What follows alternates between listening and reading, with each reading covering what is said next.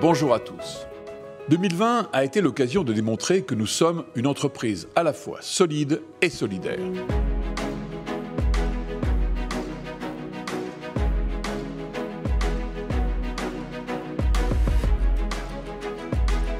L'année 2020 s'est déroulée en deux temps.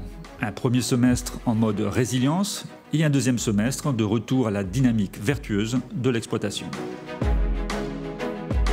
le conseil d'administration a proposé à l'Assemblée générale des actionnaires un dividende de 4 euros par action en augmentation de 3,9%.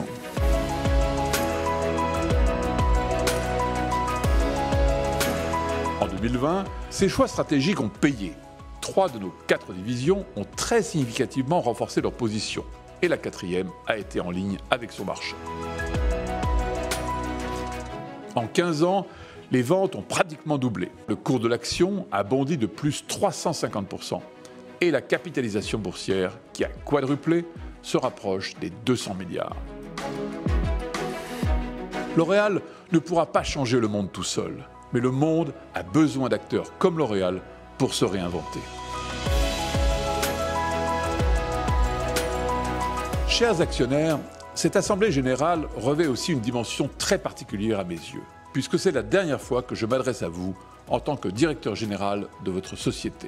Je suis très confiant et très serein au moment de confier à Nicolas Hieronymus le soin d'écrire le prochain chapitre de la grande histoire de L'Oréal. Je voudrais ici, et avec vous, rendre un hommage tout particulier à Jean-Paul Agon pour son bilan exceptionnel.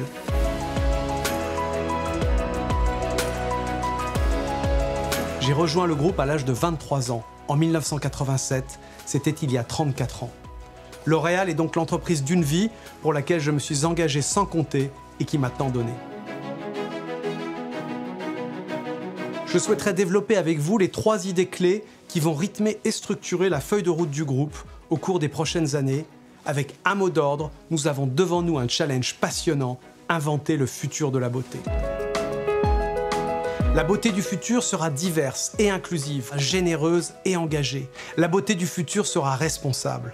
En 2020, L'Oréal s'est engagé à respecter les limites de la planète dans le programme L'Oréal pour le futur.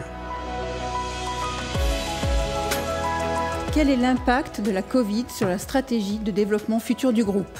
Ah, Écoutez, c'est une très bonne question. Le e-commerce a explosé pendant la pandémie. Qu'en avez-vous tiré comme enseignement et est-ce durable?